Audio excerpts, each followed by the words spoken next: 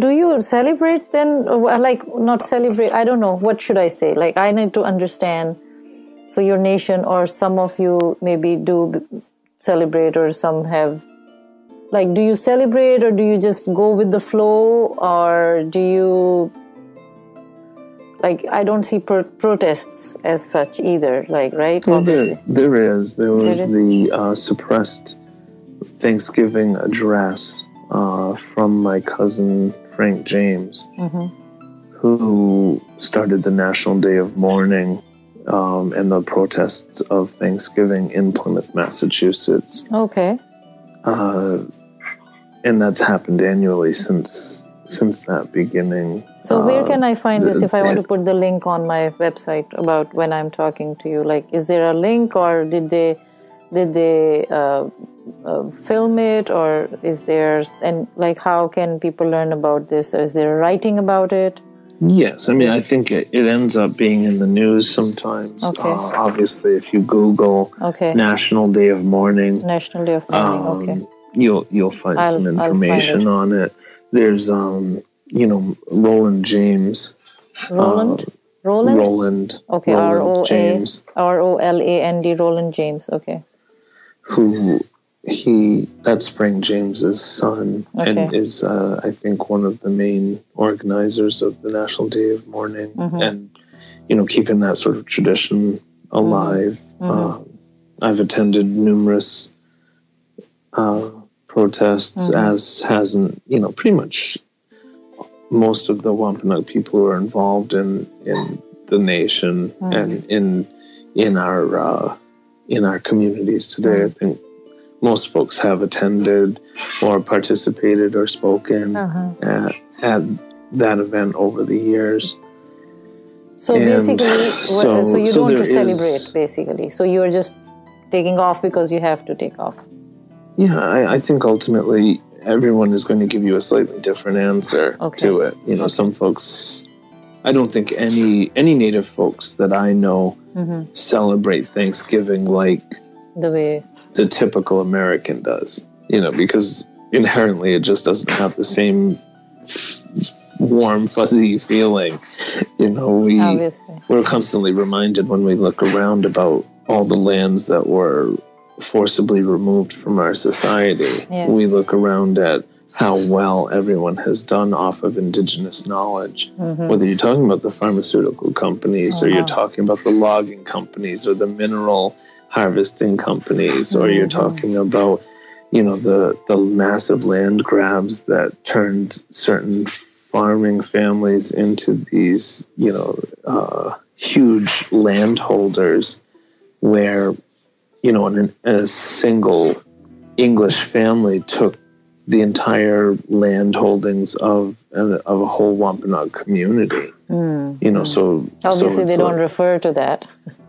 Well, no. Yeah, uh, why would they? Yeah. I mean, they yeah. they did phenomenally well, and some of those same families today mm. have some of that land and and have the money that they have, you know, managed to leverage out of all the resources on that land and the sale of some of that land, and not any of it goes back to supporting an entire nation of people that were dependent on it. So, mm.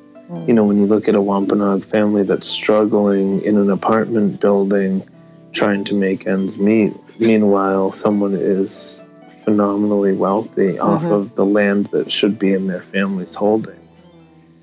And it's it's a constant reminder of mm. of how the balance has shifted and how you know, a society that was generous and allowed a small group of people to live and have enjoy military protection and and knowledge and medicines and friendship and support um, how in just several generations they took the upper hand and and did not they were not reciprocal with that relationship and they were not balanced and and kind people mm. like the like the folks that greeted them mm. and allowed them to continue to live yeah. on property that wasn't theirs and allowed them to eat or actually gave them food to eat and provided them with resources that they themselves didn't know how to come across or maintain.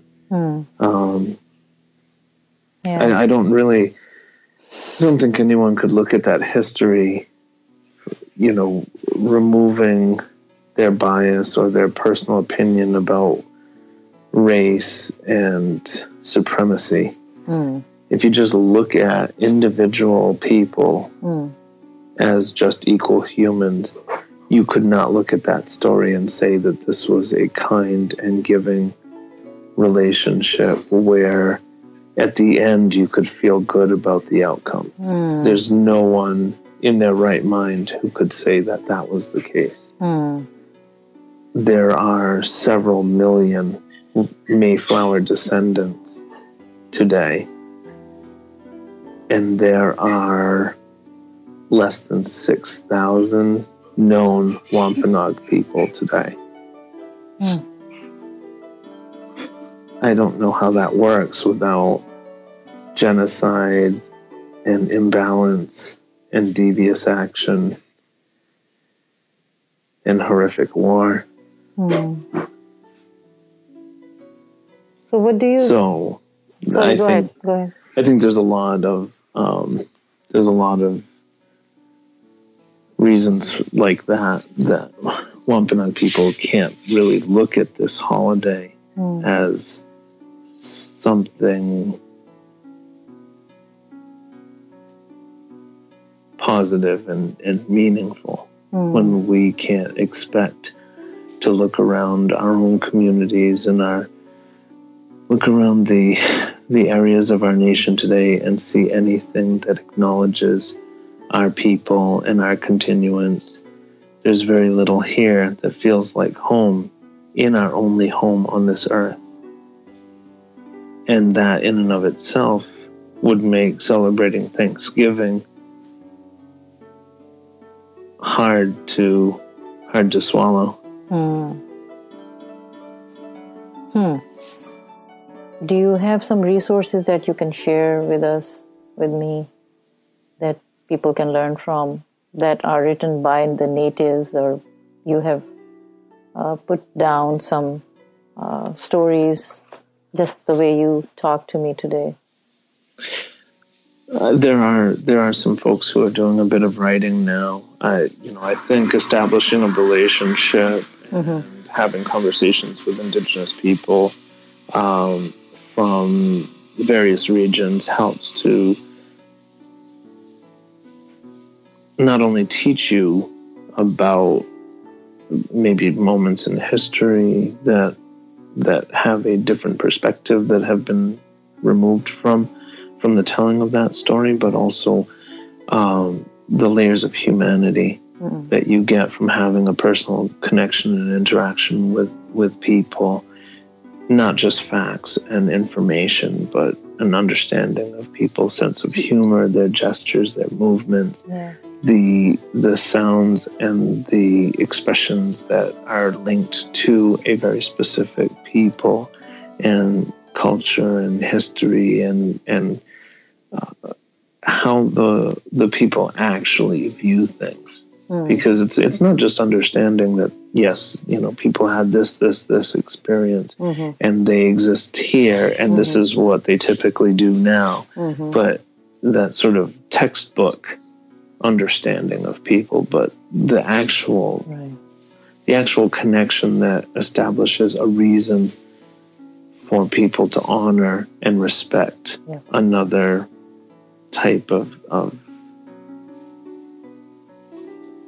nation and mm-hmm. community mm-hmm. and language and yeah. right the reason that we should be getting together and talking yeah. about things and sharing and and and establishing relationships right because it's that's what changes how societies view um, the future that's i guess true. ultimately it's if you don't know a people, it's very easy to dismiss the need to allow them to still exist in this world. I agreed. Right? Sorry, go ahead. You were saying something? Oh, I was just going to say it, it's very easy in this society. Believe unfortunately, yeah. it's easy mm-hmm. to disregard whole groups of people, exactly. even though communication is so easily attainable now. Mm-hmm. It's so easy to disregard if you just have controls in place that keep certain people and perspectives out of the media, for instance. Uh, you know, point to any news anchors mm-hmm. on any national news channels that have an indigenous anchor mm. and deal with indigenous issues. Mm. Not one. Mm. I can't think of anyone. Mm. Where are the heroes, you know, for our people? The where the the young native children where where can they look to see people who are acknowledged globally or nationally mm. that they want to try to achieve and surpass their achievements? I it's hard. I mean, we all are forced to forge our own way mm. and and find heroes or find a path mm. that would allow us to maybe have a chance to become some of those people and yet in my whole life I have yet to see someone make it to that level. And that says a lot about the society we live in. Mm. We're still fighting for the right to not be demonized by sporting teams and and horrific caricatures of a generalized native person yeah. making a fool of themselves as a mascot for the entertainment of the masses. And we can't say that offends us and expect anything to be done about it. Mm. We can't expect in this modern society that our women and children were that they will be protected and safe as Native women are five times more likely to be brutalized hmm. Than any other people in this country. Oh. It's it's hard to really get behind a Thanksgiving holiday or Native American Heritage Month, which is November, and still and and and just feel good about that when you can't feel good about being who you are and feel protected as a citizen of the United States and feel good about what the state of affairs are for indigenous people in this continent. It's just it's hard. It's hard yep. for us, I think. As indigenous people, however, we do have our celebrations and our feasts and our gatherings and those are far more frequent than than just once than a once year. A, once a year, you know, yeah. we have our Thanksgivings mm-hmm. and our celebration and feast times, which go off the lunar cycle. Mm-hmm. So twelve to thirteen of those gatherings per year. Mm-hmm.